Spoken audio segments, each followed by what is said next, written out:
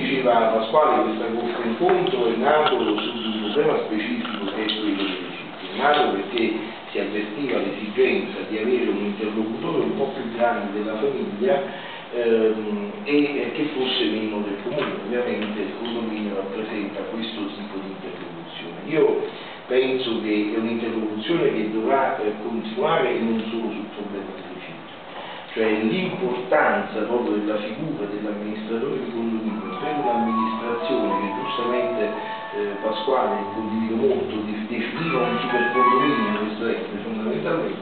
eh,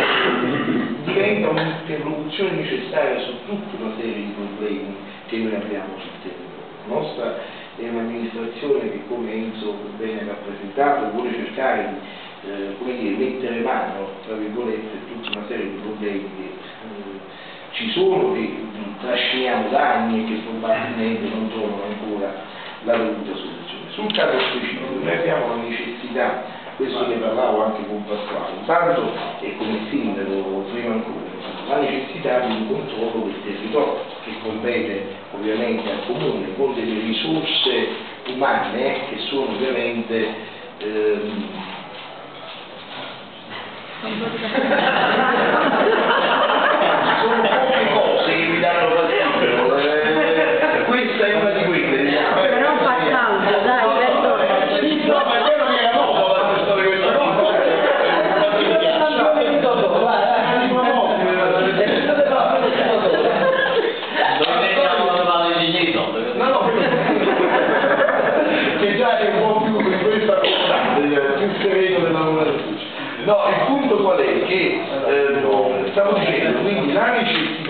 rifiuti è quello sicuramente di immaginare un controllo, perché poi la fase, il lavoro di Gasole Ambiente, guardate, è ictoplis, è stato anche in un periodo dove c'era la difficoltà massima, questo risultato è stato raggiunto dopo un lavoro che la società ha svolto in questi anni, che oggi è quello che è e che domani con lo stimolo che faceva dovrà, e Pasquale prima ancora dovrà essere ancora di più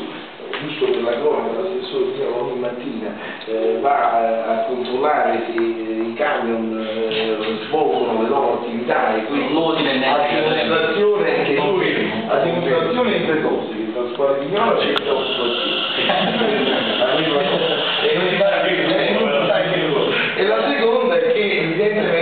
scelto un assessore che eh, mette il dinamismo necessario che- di cui la politica ha bisogno ehm, e eh, trovando poi una sponda felice in una eh, gestione della società che come potete notare degnamente rappresentata da Bruno. Il punto quindi qual è? Le condizioni ci sono tutte per fare bene, purtroppo il cittadino me compreso fatto dal primo esempio, ovviamente deve essere anche educato a svolgere una serie di attività.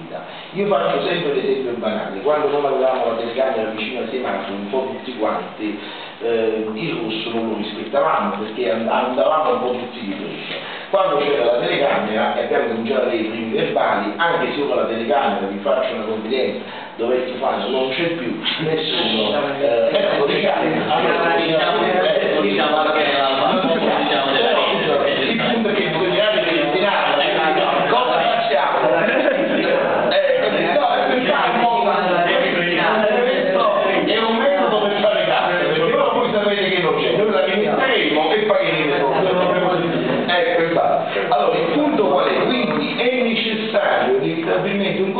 altrimenti i cittadini non diranno. quindi questo è un problema che spetterà evidentemente alla politica risolvere ripristinando, cosa che finora tra l'altro anche per il controllo del territorio è stata abbandonata in questi anni, una videosorveglianza che non ha più quella funzione che prima assolviva e che dovrà continuare ad assolvere nei prossimi anni.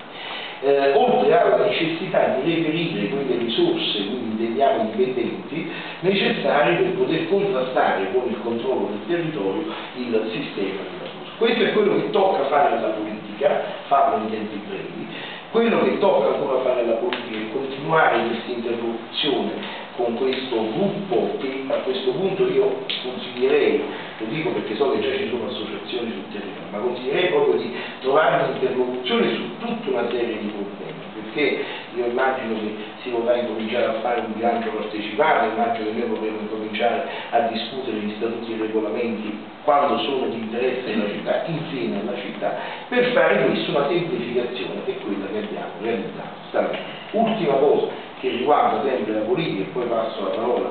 all'ingegnere Tondo, noi dovremmo immaginare, io questo lo dicevo anche a Pasquale, insieme alla repressione,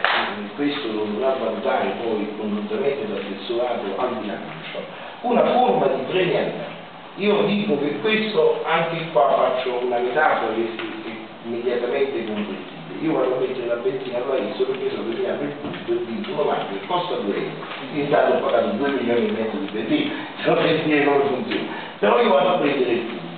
Io penso che se noi riusciamo a creare le condizioni di una premialità per il condominio,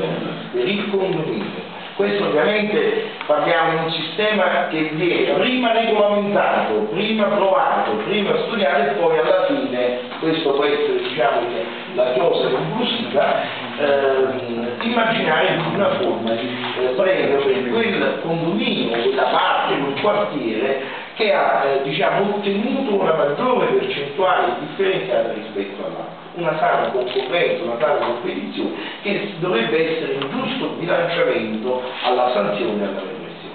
Questo è quello che per me è diciamo, la parte politica. Su quella tecnica, prima di passare la parola all'ingegnere Soppo, farei il giro del caffè, eh? eh l'ingegnere può parlare tranquillamente, soltanto... però se si sta pagando la stessa signora si vedono gli effetti, ho preso 4 caffè con 40.